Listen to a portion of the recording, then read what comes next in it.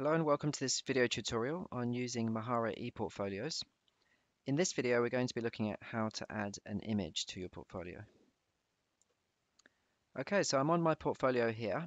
I'm on the dashboard at the moment and uh, to add an image I'm going to go to one of my pages.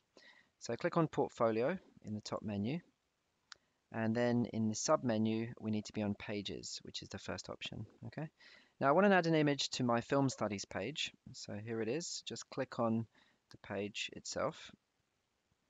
And here we are. Now as usual we need to edit the page. So we go to edit this page in the top right hand corner. Okay. Now here we, we're given various menu options in the middle.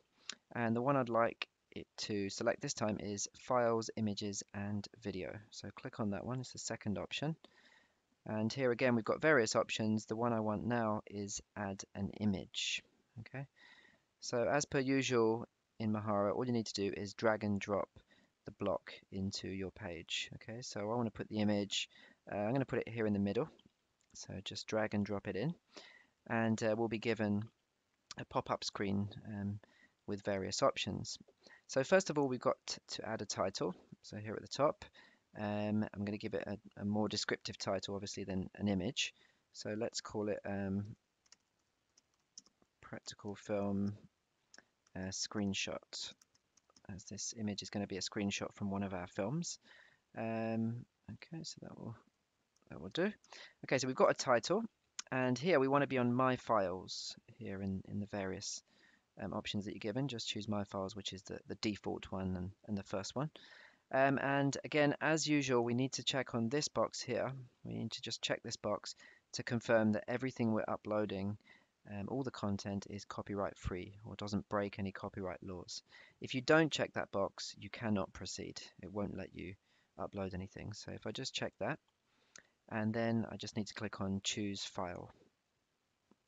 Okay, so then from your computer, you need to find the image that you want. Uh, I've got it here. It's called Blind Love Screenshot. So click on that and open it. And you'll see that it's been added. Now it's been added to the home section here, which has all your files. And actually it's been added here as well to the actual um, files for this page. Okay, so it needs to be here at the top in order to be on the page. If it's not here, all you need to do is click on select here at the bottom and then it will also appear here at the top okay? So that's fine. So I've got a name I've got the image I want. I'm happy with that. Now we also need to think about image size okay? Now this image I've uploaded is quite small which is good. Now before you do any of this in fact you really should check that the image you're uploading is not too big because we have a limit a storage limit on Mahara. And if you keep adding files which are very very big and heavy they will use up all your, your storage capacity, okay? So it's a really good idea to check the size of your image before you upload it onto Mahara, okay? So before this stage. Um, you don't need an image, you won't need any images really that are over 800 pixels wide.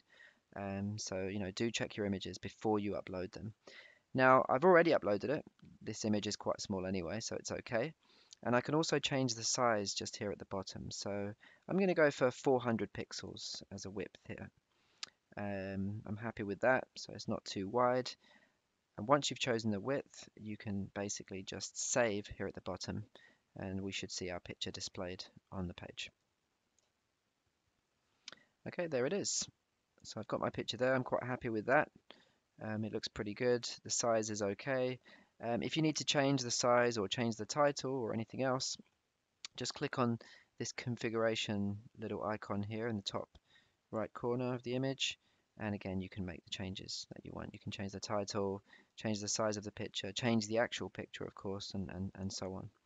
Okay, so I'm going to save that again and that's it. Okay, so that's how to add an image. Uh, so once again, do remember to check the size of the image before you upload it onto Mahara. Um, otherwise, you will reach your limit quite quickly. Okay, thanks very much.